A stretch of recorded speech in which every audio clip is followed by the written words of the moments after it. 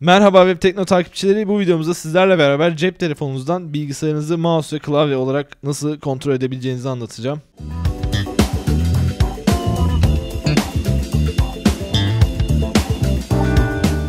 Klavye mouse dışında da birkaç ufak özelliği var. Onlardan da bahsedeceğim. Uygulamamızın adı Remote Control Collection. Biz Pro versiyonunu satın aldık. Pro versiyonu 9 lira 16 kuruş civarında. Siz normal versiyonunu indirin. Bir bakın içinde daha güzel özellikleri olduğunu düşündüğümüz ve tanıtılması gerektiğini düşündüğümüz için biz Pro versiyonunu satın aldık. Şimdi uygulamaya girizgah yapıyoruz arkadaşlar. Uygulamayı açtığımız zaman karşımıza böyle bir ekran geliyor. Tabii ki de bilgisayarımızda bir uygulama olması lazım bunun için. Kendi sitesinden indiriyoruz uygulamayı remote-control-collection.com Burada server kısmına geliyoruz ve hangi platform varsa şu an için tabi sadece Windows'ta var olduğunu gösteriyor. Yakında macOS ve Linux versiyonları da geliyormuş. Buradan Windows'u indiriyoruz bizde Windows olduğu için. Kurulumunu gerçekleştirdikten sonra zaten kurulum aşamasını anlatmaya gerek yok. Burası bildiğimiz next next next 3 yaşından beri hepimizin kurduğu gibi hiçbir fark yok. Uygulamayı açtığımız zaman karşımıza bir IP adresi çıkıyor. Bunu kapatalım. Şu üst tarafta da şu an yarısını bulanık gördüğünüz bir IP adresi var. Bu IP adresini alıyoruz ve cep telefonumuza gidiyoruz.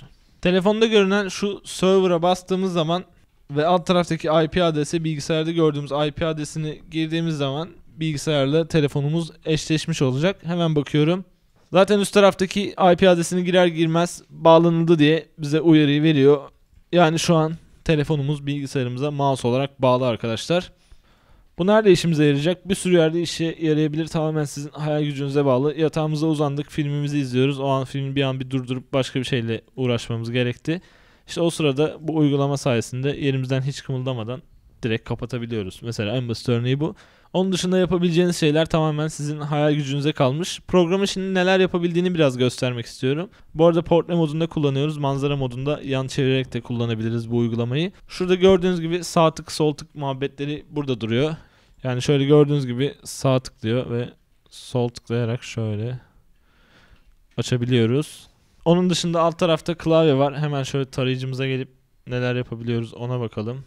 Gördüğünüz gibi burada yazdığımız şeyler direkt olarak bilgisayarımıza gidiyor. Klavyemizde bildiğiniz normal bilgisayarımızın klavyesinden yazı yazar gibi yazılar yazabiliyoruz. Onun dışında şu an mouse'dayız. Şöyle geriye gelelim mouse'tan. Şurada yine klavye var. Bu klavyenin önceki gösterdiğinden farkı mesela Windows tuşu bulunuyor bu klavyede. Gördüğünüz gibi işte Enter tuşu, CTRL, Shift, Alt. CTRL, Alt, Delete yapmak için mesela buraya gelmeniz lazım. Klavyeden geriye gelelim. Güzel bir özelliği de ekranı buraya yansıtıyor. Şuradaki canlı ekranını.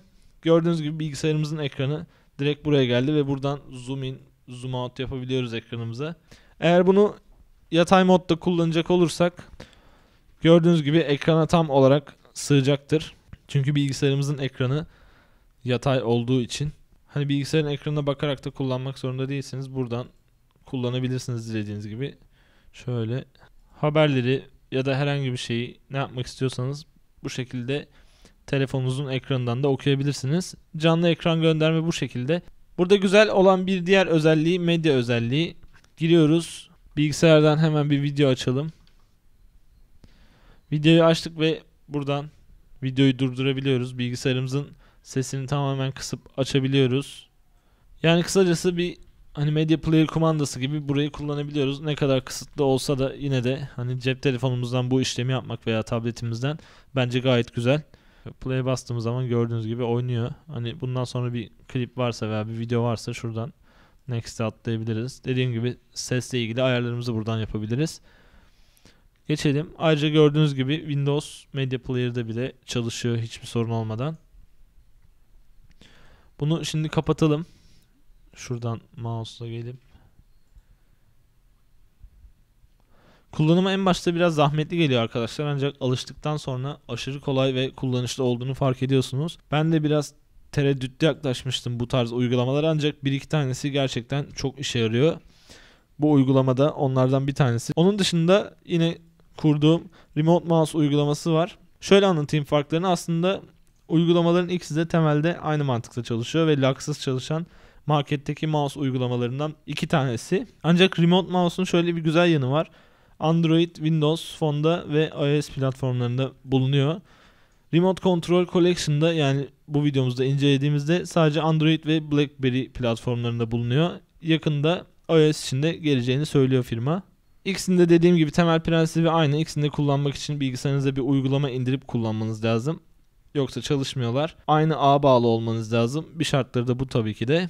Onun dışında ikisi de laksız, sorunsuz, hızlı çalışan mouse uygulamaları, mouse ve klavye uygulamaları. Bu videomuzda sizlere Remote Control Collection isimli uygulamayı inceledik Pro versiyonunu. Remote Control Collection Pro ile Pro olmayan versiyonların arasında şöyle farklar var. Birinde bu Media Player olaylarını ya da işte şu gördüğünüz shortcuts, slideshow ya da hani ekstra speech özelliğini ekleme gibi şeyleri kullanamıyorsunuz. Bu arada şu speech dediği de konuştuğunuz şeyi yazıya döküyor bilgisayara. Aslında bu bile uzun bir yazı yazacaklar için bulunmaz bir nimet niteliğinde olabilir. Pro versiyonunda bu özellikler var. Pro olmayan versiyonunda sadece mouse olarak kullanabiliyorsunuz. Klavye bile aktif değildi yanlış hatırlamıyorsam. İndirip bakarsınız eğer çok işinize yarayacaksa zaten satın alırsınız bu uygulamayı arkadaşlar. Sizlere bu videomuzda Remote Control Collection isimli bilgisayarınızdaki mouse ve klavyeyi cep telefonunuzdan yönetme uygulamasını anlattık. Sorunuz olursa bizlere sorun arkadaşlar çekinmeyin. Twitter, YouTube ve Facebook adreslerinden takip edin. Aynı zamanda webtekno.com'da takipte kalın. Başka bir videoda görüşmek üzere. Hoşçakalın.